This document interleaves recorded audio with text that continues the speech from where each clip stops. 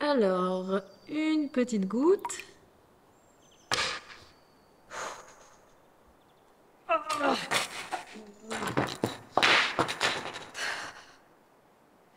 Non mais en fait, je suis pas d'accord. Avec les lois de la physique Qui ont fait tomber ta fiole J'avais compris. Non, je parle d'Eleonore Sam.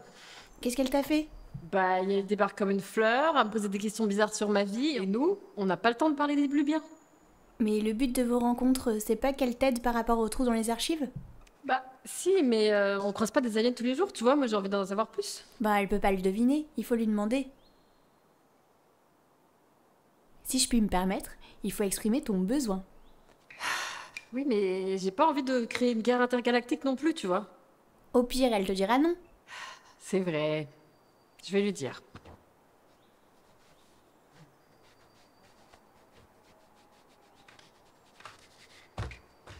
Non, mais c'est pas euh, pour qui elle se prend. euh, Oh oui, euh, moi je suis un corail super intelligent et j'ai des réunions avec l'OMG, donc j'ai pas le temps de discuter Bonjour, avec. Society. Bonjour. Bonjour. Bonjour, Lisa. La dernière fois, nous avons parlé du climat. Quel est le sujet aujourd'hui? Euh... Est-ce que avant de commencer, on peut discuter un petit peu? D'après mes analyses, discuter est la pratique culturelle préférée des humains. C'est pas faux. Il a l'air de faire beau chez vous. La jeunesse, c'est plus que c'était. Sacrée course de chat hier soir. Hmm, non, pas comme ça. Euh, J'aimerais plutôt en apprendre un peu plus sur euh, toi. Ah, je vois. Voici une photo. Je fais plusieurs kilomètres de long. Je récupère mon énergie grâce à la différence de température entre ma base, qui est au fond de l'océan, et le haut de mon corps, qui est à la surface. Je récolte aussi l'énergie par des pales qui tournent grâce au courant marin. Ah oui, nous, on récupère l'énergie différemment. Justement, aujourd'hui, je voulais te parler des besoins humains. Les besoins humains?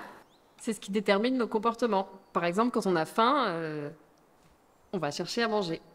Hmm, oui, ça m'aidera à m'y retrouver. Pour l'instant, je ne saisis pas tout ce qui se passe dans vos cerveaux mous. Ouais, je comprends. Et ça t'aidera à suivre les prochaines explications que je te donnerai.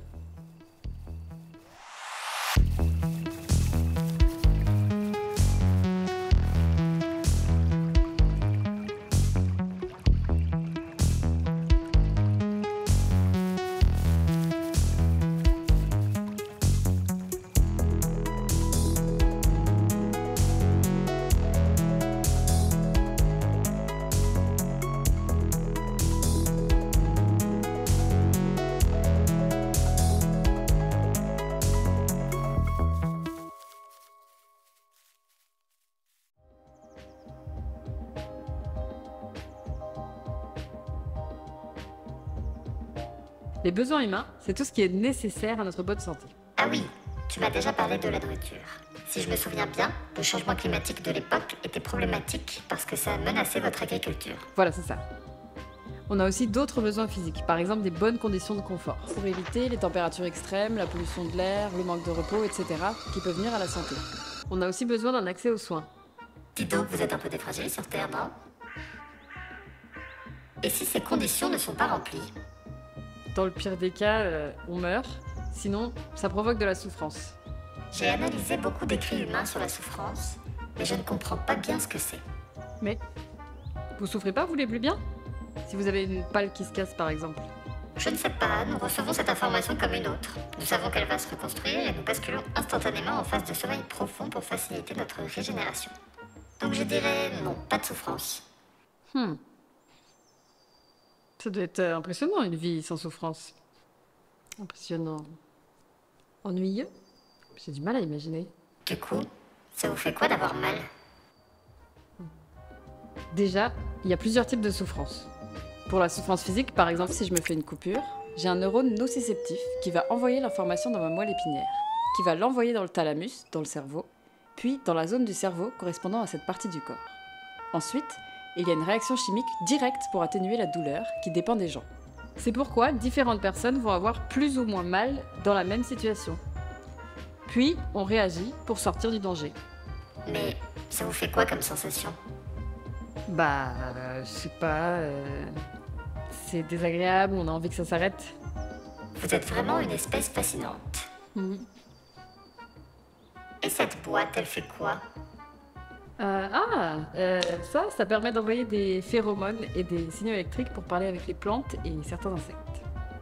Et il faut l'asperger d'eau comme tu l'as fait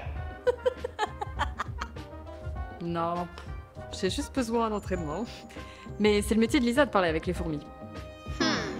Les fourmis l'aident à construire des mini-structures. Elle pourra te montrer un jour si elle veut. Hmm, ouais. Donc, revenons à nos chèvres. En plus de nourriture, des conditions de température, etc., il ne faut pas vous faire de coupures, c'est bien ça? Voilà. On a besoin d'éviter la violence. Ça peut affecter notre santé physique, avec des coups ou des coupures par exemple, mais aussi notre santé mentale. Toujours plus. Tu te souviens quand je te disais que la souffrance physique provoquait une réaction? Par exemple, si on a la main dans le feu, on va la retirer instinctivement en sentant la brûlure. Oui, après que le neurone nociceptif ait envoyé l'information au cortex somatosenseur. Exactement. J'ai suivi. Les zones du cerveau qui permettent l'analyse de la douleur et celles qui permettent la réaction pour sortir du danger sont actives quand on se fait mal. Elle s'appelle la matrice de la douleur. Et cette matrice s'active aussi quand on a une souffrance sociale. Par exemple, si on est rejeté par quelqu'un, et même si on observe quelqu'un qui souffre. Donc les relations entre humains peuvent vous faire mal comme une blessure physique?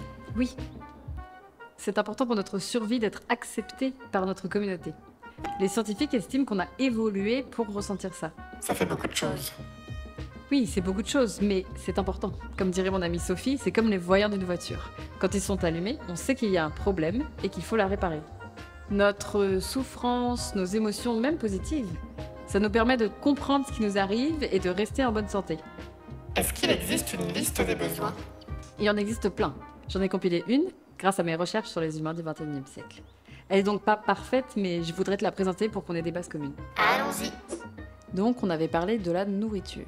En 2021, 800 millions de personnes avaient faim, d'après l'Organisation mondiale de la santé. 800 millions? Absolument. Ensuite vient le confort. En 2018, 1,2 milliard de personnes habitaient dans des bidonvilles. C'est-à-dire les personnes qui n'ont pas accès à l'eau, au système sanitaire, pas assez de place pour vivre ou des logements qui peuvent être détruits facilement. Ah oui, ça fait beaucoup de monde. 15% de la population. Et pour la santé mentale Nous sommes des animaux sociaux, nous avons besoin d'interactions saines avec d'autres humains. Ah oui D'où le fait que vous aimez bien discuter. Voilà. Même une petite interaction, comme un câlin ou se dire bonjour, va stimuler des nerfs capteurs, ce qui va déclencher une production d'ocytocine dans le cerveau. L'ocytocine est une hormone qui réduit notre stress, augmente notre confiance et peut même faire diminuer la douleur. Et sur le long terme, les interactions saines où on se soutient les uns les autres permettent même de vivre plus longtemps en bonne santé.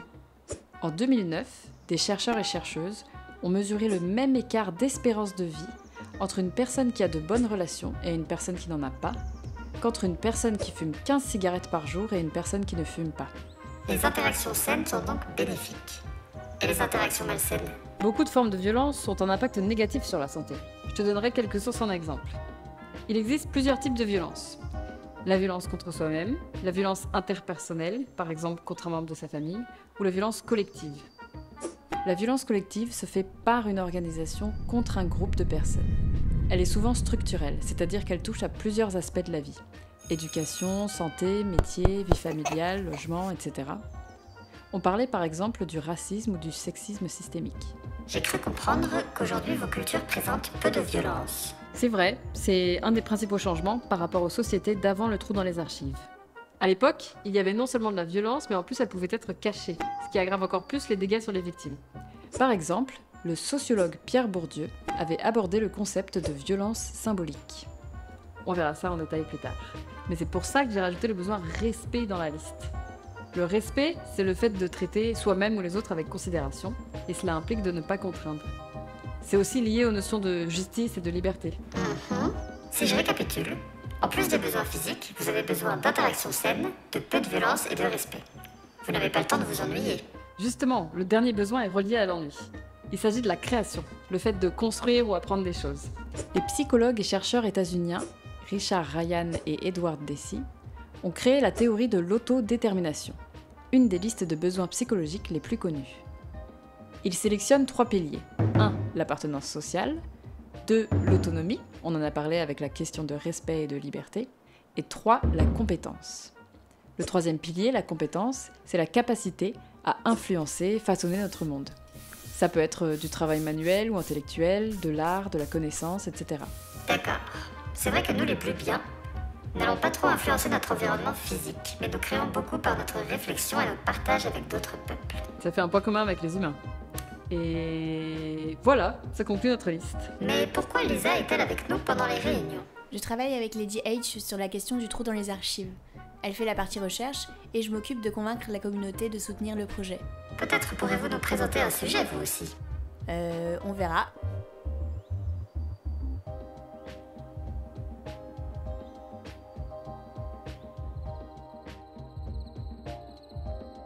Bon, on en était où déjà?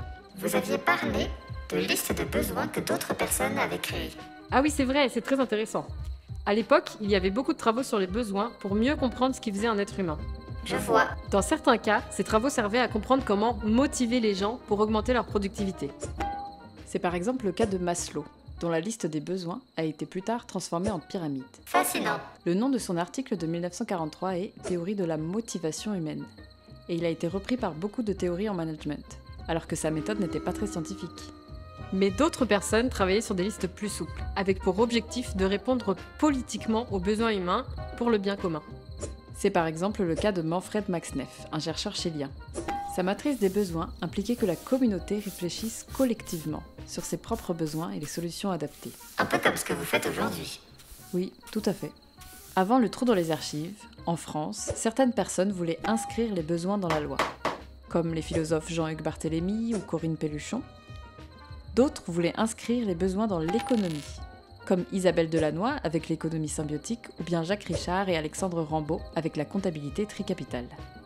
Si la différence entre avant et maintenant, c'est que vous prenez mieux en compte les besoins humains au niveau politique.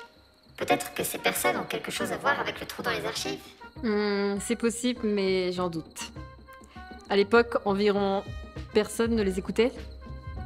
Fascinant tout ça. Bon, je me fais attaquer par des lézards depuis tout à l'heure. Je vais vous laisser pour négocier un traité de paix. À bientôt, Lady H Society Elisa. Ou Lady H Society. Elle commence l'humour humain.